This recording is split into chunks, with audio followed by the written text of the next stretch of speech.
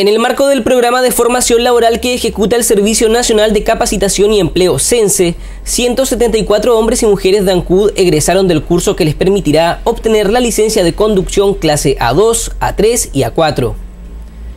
A través de una ceremonia de certificación se reconoció la participación de estos dirigentes sociales y pescadores, oportunidad en que estuvieron presentes autoridades locales, lideradas por el alcalde de la comuna Carlos Gómez, quien manifestó su satisfacción por las herramientas entregadas a este grupo de vecinos. Para llegar a esto tuvieron que desarrollar cierto, una serie de clases con una asistencia mínima, eh, pero lo hicieron con un tremendo interés, sabiendo de que no solamente estaban eh, luchando por obtener una licencia, sino prácticamente una profesión.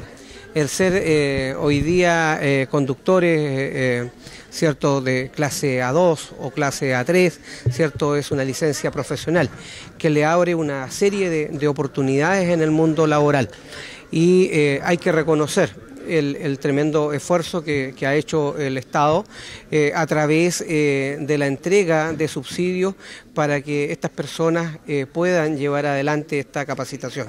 El nuevo gobernador de Chiloé, Fernando Borges, indicó que el objetivo de estas instancias es abrir el campo laboral para muchas de estas personas que han dedicado gran parte de su vida a otros oficios. Diversificar un poco el trabajo, que no solamente dependan de la extracción del marisco que le llega a la marea roja, sino que también ir buscando otra alternativa. Aquí veíamos cómo un buzo mariscador que de, los 12 años está trabajando en el mar, eh, agradece y, y nos insta como gobierno del presidente Piñera a seguir con los emprendimientos y las capacitaciones. Aquí lo vemos en forma palpable de que Ancú a nivel nacional ha sido una de las comunas más favorecidas con capacitación. En el proceso formativo los alumnos conocieron los principios y normas que regulan el transporte terrestre de pasajeros. Aprendieron de mecánica y mantenimiento preventivo del vehículo y equipos auxiliares y adquirieron habilidades transversales para el desarrollo laboral.